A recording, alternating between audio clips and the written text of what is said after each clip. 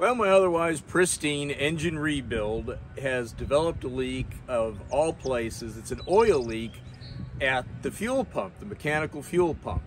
Uh, every place that the fuel pump is put together and there's a crimping seal, uh, a press in, so where the top and the bottom meet, and then the inlet and outlet uh, housings where they're pushed up, pressed in underneath, it's leaking oil at all of those places. So I did a temporary seal of it from the top um, with some JB weld and that cut down on the uh, cut the oil leak uh, in half. Just where it's located, the fuel pump up front, that oil just gets caught in the wind stream of the fan and everything else, and it just blows it backwards over the frame rail and you know everything else. I'll show you from the bottom and the top and what we're gonna do to fix this.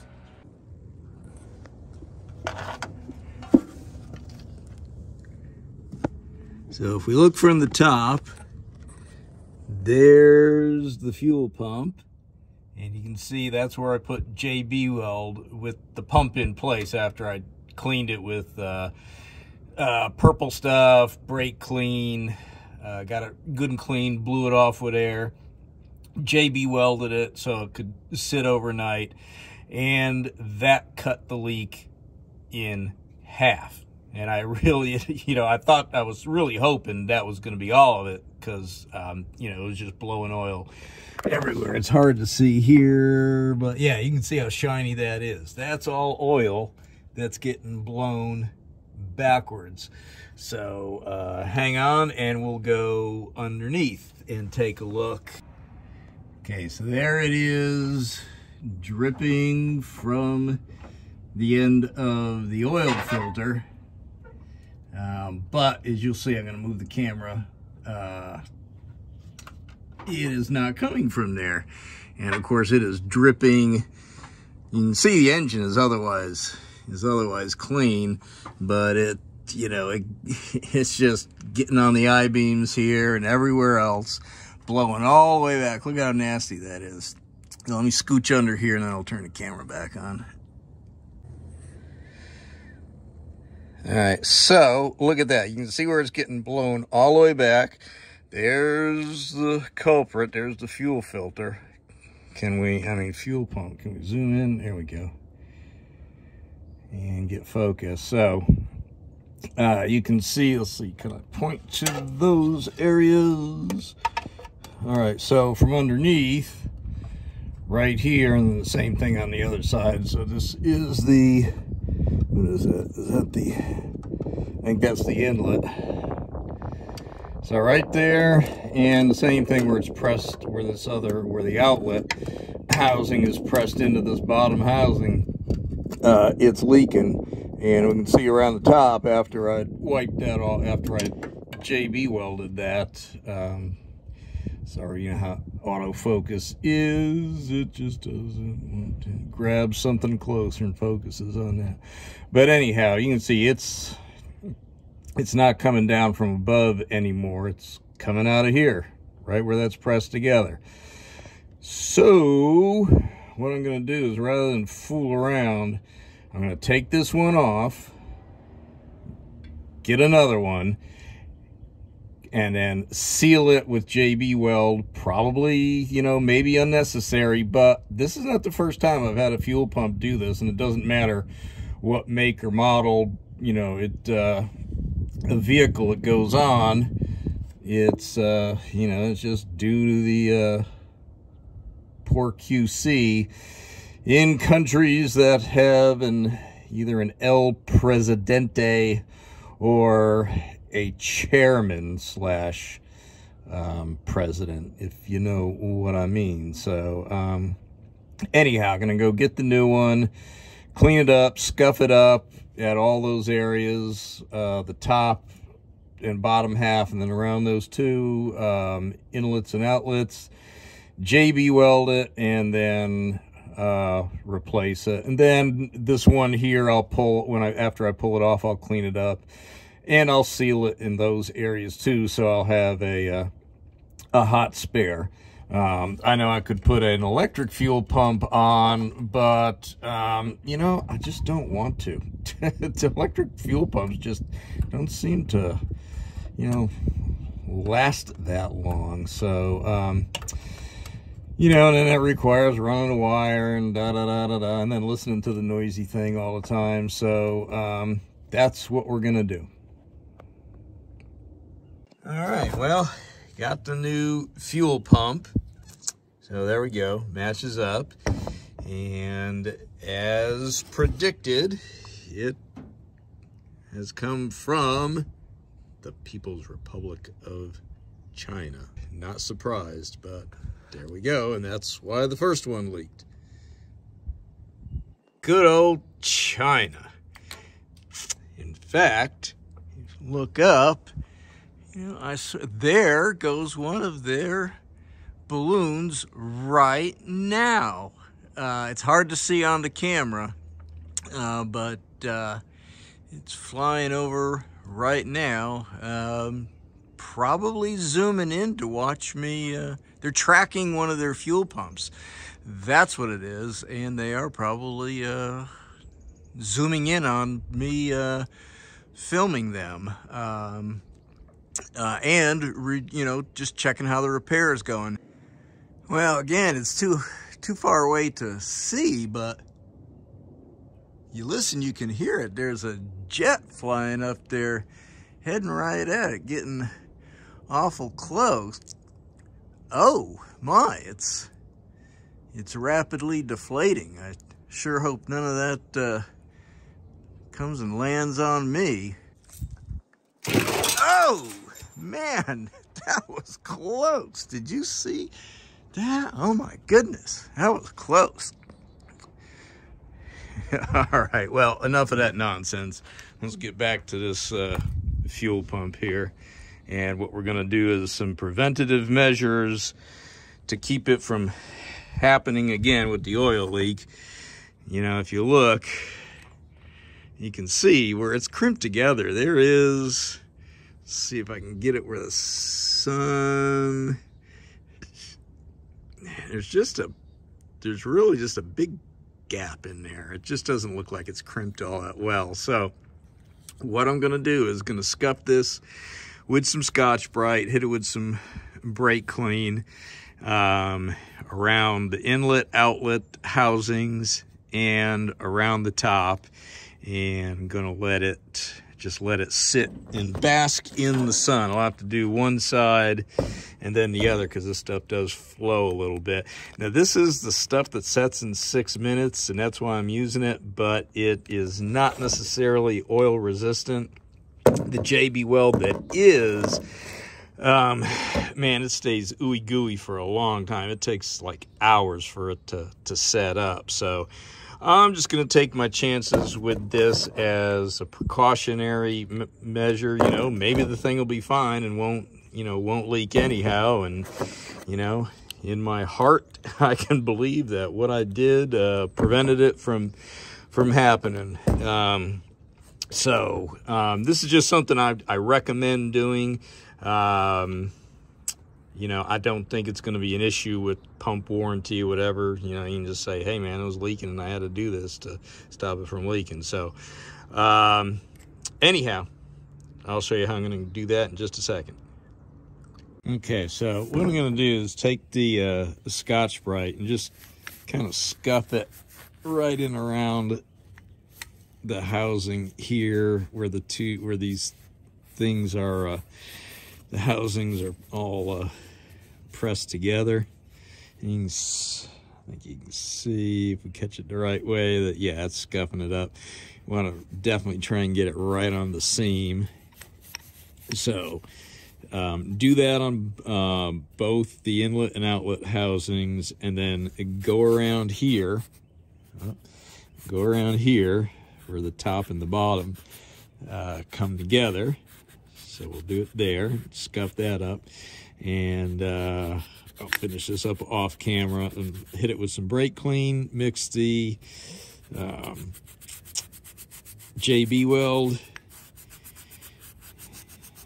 and maybe I'll do the I'll do the uh, bottom first and leave it sitting up like this. Then I'll flip it over and do the top and then can go ahead and install it. Okay, so it is uh, scuffed all the way around here and around here. You know, where the, the two inlet outlet housing seams are and around this top to bottom uh, crimp. Uh, sprayed it up with some brake clean. And, um, you know, try not to get this, and uh, just when you JB weld it, whatever, base, don't plug that hole. That's a weep hole if the, uh, it's a weep hole and pressure vent for the top half. Um, just make sure not to uh, fill that. Um, if I understand it correctly, that is if the diaphragm breaks, um, then uh, gasoline should come running out of there. So um, anyhow, uh, next step is to mix up the JB weld and get it on there so it can start to cure on one half so we can flip it up and put it on the other. Okay, so if you haven't worked with JB Weld before, the stuff is awesome. It'll fix like a lot of, especially like water leaks and, and such with cracked housings and things like that where there's not a whole lot of pressure. Um, equal amounts.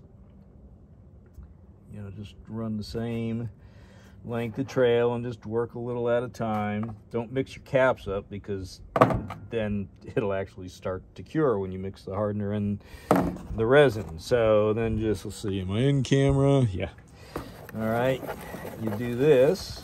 So I'm gonna mix that for a minute and, uh, and then we'll watch me putting it on. Got the uh, JB Weld mixed. Really, it takes only, you know, like 30 seconds, a minute, something like that. You know, you don't want to take too long because it's actually starting to um, cure as as you do that. So I'm going to go ahead and hit these areas here. We're going to, this is the actual bottom. And I hope I'm still on camera. All right.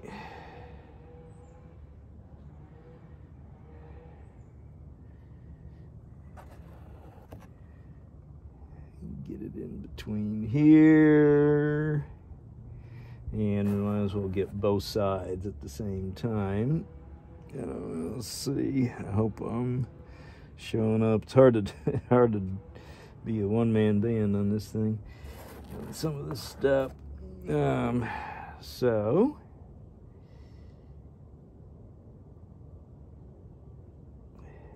all right, so there's that. Um, you know, for all practical purposes, the fuel pump is kind of hidden. So even though this isn't the, uh, you know, this isn't the prettiest, prettiest thing to look at, it. Uh, it is for the most part, especially if you have a uh, well, the power steering bracket pretty much pretty much holds it, uh, hides it rather. So um, anyhow, um, there's one application, and I'll mix a little bit more, fill that in, and then flip it over, and then let it sit like this, so it works its way down and hardens up and then after it sets this is only supposed to take just a few minutes six minutes. Then we'll flip it over and do um, the other the other half. Okay there we go. How lovely. Maybe i should uh, enter a cake decorating contest. Um, you can uh, as this stuff is uh, it'll just pick right off. Uh, I got to remember to, you know, I always think I'm in camera and I'm not. Um, before it all hardens up in here, you, you can, you know, pick off the little extra dribbles, uh, you know, if you want it to look a little better. Uh, but again, this thing's going to be mostly, mostly hidden. And from the top, you'll see the, uh, uh, this side here, uh, and you got to really look at it to see it. And, you know, we're just doing this as a preventive uh, precautionary measure. Um, another thing I meant to, I can't do it now because this stuff is still curing and wet, but um, what I did before I, to make sure the pump was good is I just, you know, put some pressure on it, um, you know, held it and put some pressure on it and put my hand, palm of my hand over here just to see that I got some, you know, some pressure, some suction and pressure uh, on that when the, when the arm moves. So I did. And when you go to um, replace this, remember, there's probably going to be some pressure uh, on that fuel line. Um, and as you pull this out, you could be actuating the pump. There is, I can't remember where it is, but you know, there's, uh, there is probably a note somewhere that tells you at what point of crankshaft turn where this uh, pump has got pressure on it and where it where it doesn't. And ideally, you want to set it so um, it's in an off, you know, it's not got pressure on here because then it makes it difficult to, to get the bolts in. But remember, as you pull this pump out, you could be spraying uh, fuel. So, you know, take precautionary uh, measures, especially on the outlet side. Uh, you might want to work this thing loose and leave it connected while you're doing that. Then disconnect it. Wear safety goggles. Be careful. And, um, you know, there you have it. Okay, so what I meant to show you earlier, and by the way, here is after sitting in the sun for several hours. Uh, that sun, as nice as it is, it is really hard to uh, to film in. But um, there is the finished product, so all all sealed up, and I've scraped away some of that um, little drizzles, and uh, man, it had a good bite on there. So after just um, oh, I don't know, maybe four hours or so. What I was going to show you earlier is, you know, before you put the pump on, and you know, certainly before you go through the trouble of doing this uh, preventative measure little seal here, is you know, have a surface you can press down on and then take your hand over the inlet and outlet and just, and you probably can't hear it. Um, let's see. But you'll hear, you'll hear and feel it either, you know, uh, pulling in, uh, pulling in on this one or pumping out uh, on, on that one there. So the engine is still hot and it's getting late dark and cold. So uh, I'm going to wait a few days before I put the sealed up, new sealed up pump on there. Uh, you know, when I don't have to be anywhere right away and it's pleasant enough to work. Uh, again, safety precautions, wear safety glasses, uh, try and look up if I have time. If I can find it, I'll insert it into the video. But um, otherwise, look up and see what degree uh, where your uh, crankshaft uh, should be, um, so that this um, this arm is got no pressure on it like like it is right here. So it's so it's at rest. Uh, two things um, when you are trying to get it out, you're going uh, this is where you're going to wear safety glasses and be careful. You will get squirted in the eyes. And that happened to me when I was, oh, I don't know, I was like 13, something like that. And, uh, you know, tough way to learn that gasoline just sprayed me in the face. And uh, it's happened to countless other people too. So just heed my warning. Get the crankshaft to the point where there's no uh, where where that pump handle is at rest like this and it also makes it much easier to get the thing uh, in and out. Uh, when you replace it um, go ahead and hook up a fuel pressure gauge right here. Uh, pull your coil wire uh, so it won't start. So pull power off pull power off the uh, coil like pull the hot lead off the coil and spin it. And, you know, with a Ford, what's nice is you can just bump it between there and there and, and spin it over.